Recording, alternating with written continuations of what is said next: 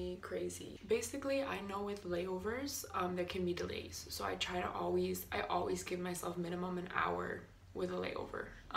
Because um, these 30 minute 20 minute layovers no i don't trust that. Because even if your flight's on time you could get um, held up at the transition gate or whatever and then you could miss your flight. So i did have one layover that was a little shorter. It was an hour and five minutes but it still felt like a good amount of time. And then lo and behold um, the flight before that one because i had i had several layovers in this case um, got delayed by 40 minutes.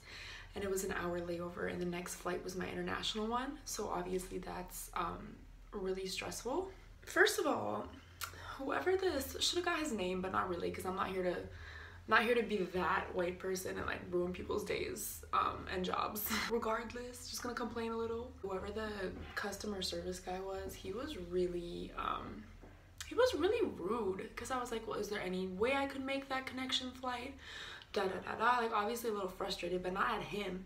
And he was like, you know what, I can't help you here. You need to go talk to them at the front, like, and stop arguing with me. Like all this stuff. And I literally told him, I was like, I'm not arguing with you. I'm just trying to figure out the situation. I was in the DC, um, gosh, what was that called? The DC Maryland airport something I forget. And the way they set everything up there was stupid because again, this layover problem is obviously happening internally but they made me go outside of security to um to try to talk to somebody about fixing it. They made all of us with international flights go outside um, and talk to the front desk at American. So it was horrible um, because then basically when I went out and talked to them, the alternative they gave me was not a good one.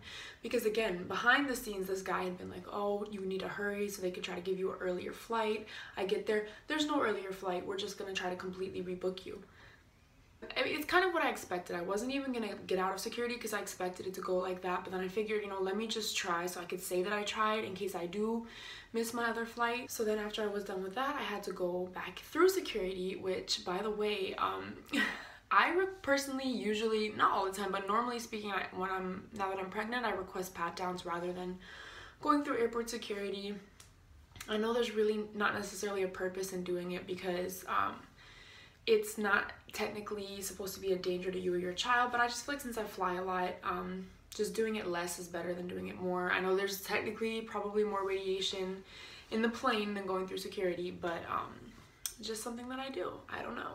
I had to get patted down again. So obviously when you get a pat down, it takes a little longer to go through security, all that stuff. So at this point, I was just going back through security to get my original flight, just like low-key crying.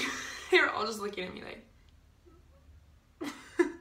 People are so mean. Like if I saw someone crying, I would be like, "Oh, are you okay?" But everyone's just like felt like I was in Miami again because that's really how it'd be there. People do show concern occasionally, but most of the time they're just very confused. But it's fine. I mean, sometimes when you're crying, you really don't want anybody to say anything to you anyways because then you have to be like, oh, thank you so much. Like sometimes you really do just want to cry and like I feel like I was like angry crying so probably my face was like, don't talk to me. So anyways, that was funny. But I got through security. Um, I had to get another pat down. And let me just say, this woman that patted me down was so aggressive. Like all the pat downs I've had up to that point, because I probably had at least like five other ones. Like I do fly pretty frequently.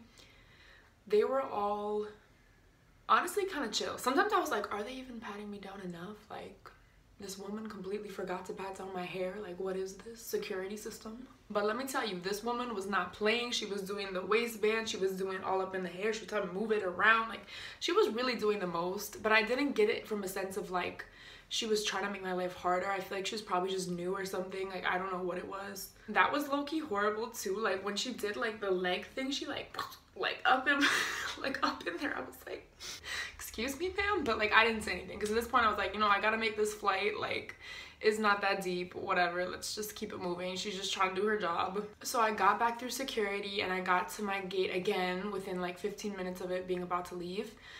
Um, I got in the plane and then I will, let me just say this. I'm a very honest person for the most part. Um, I really try generally speaking not to lie because I just don't see the purpose of it. The only time I do lie in situa is in situations like this where I feel like it's a white lie and it's not like a complete lie. It's just easier than explaining the situation. Because like i could have told the lady like no like i just really need to make this flight because i'm pregnant. And if i don't i'm gonna be stranded in philadelphia and i don't know what i'm gonna do because i don't have money to get another airbnb. Like could have done all that or like i don't want to be in the airport for two days trying to like get another flight sleeping on the floor like i'm i'm five months pregnant. But instead of doing all that i was just like i really need to make this flight. Like i have a wedding.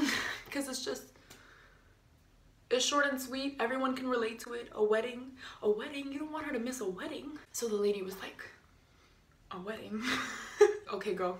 You're gonna make this flight. We've got you. Um, well, she didn't sound like that. She was an older lady from New Jersey, but I'm not gonna, not even gonna try to do that accent right now. So she was like, you know, we've got you. Don't worry. I let them know. Looked up my next flight for me because you know when you do tickets ahead of time, they don't even tell you the gate number on the ticket. So I'm sitting here like I'm about to have like 10 minutes to get to this flight once I land, and um I don't even have my gate number. I don't even have anything. So the lady, I should have got her name. She was such an angel. Thank you, ma'am. And then there was another guy trying to make his flight as well who had one like 10 minutes before me, but his wasn't an international one, but still. We were like, he was like my second angel because we were like in this together. We just both got off that plane and we were both just running together. Like, you've got this you're gonna make this flight i believe in you um thank god for him because my directional my directional i don't think that's a word. My skills with directions are not the best despite the fact that i do travel by myself a lot which like you wouldn't you wouldn't think but that's the reality. Honestly if he hadn't been there i think i would have gotten so lost um trying to find my way to the um to the the trolley that basically takes you not trolley but you know the little bus that takes you from one uh, terminal to the next because we landed in one terminal then i had to get to a whole other terminal for my flight.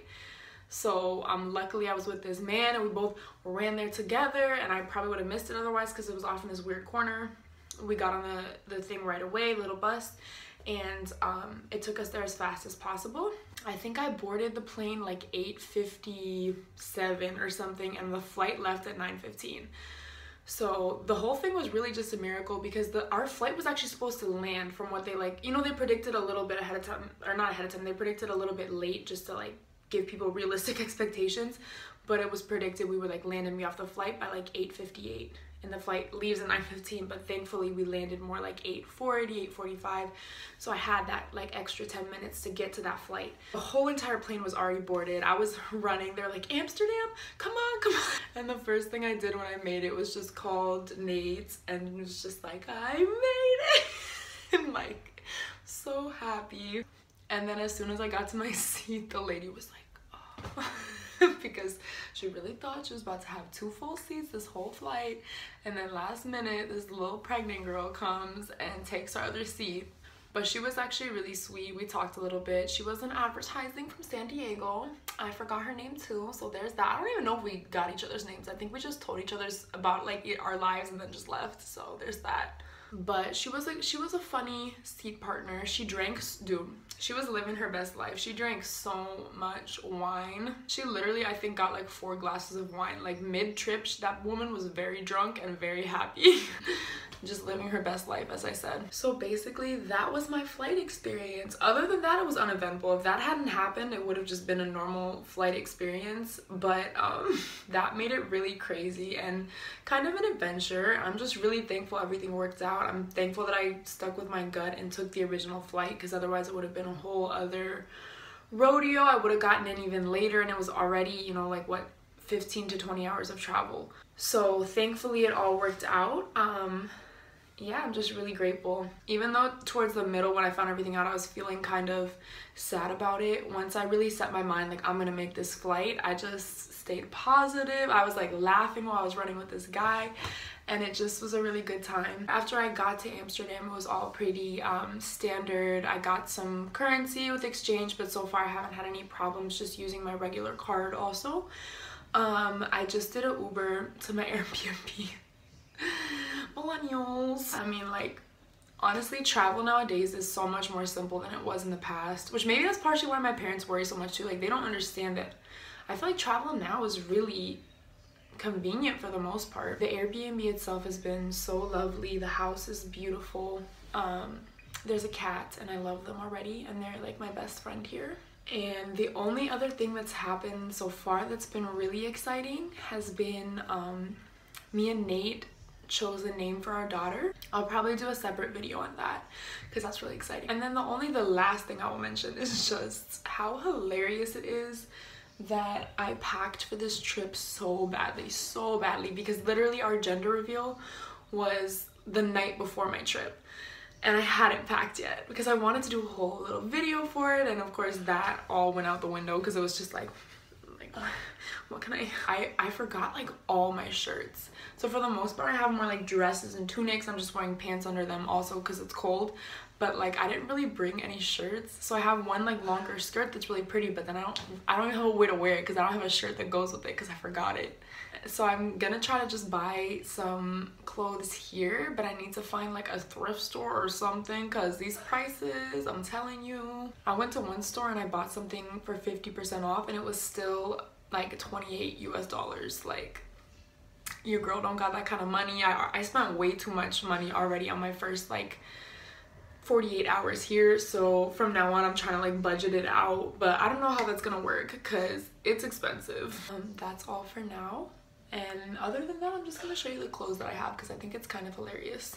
So here you go. It's this and this which actually when you look at it like here it doesn't look i feel like quite as bad as um what i think i guess it's more like the items themselves that i packed because like i said um there's like a decent amount of pants and like no shirts. So this is the shirt that I bought yesterday.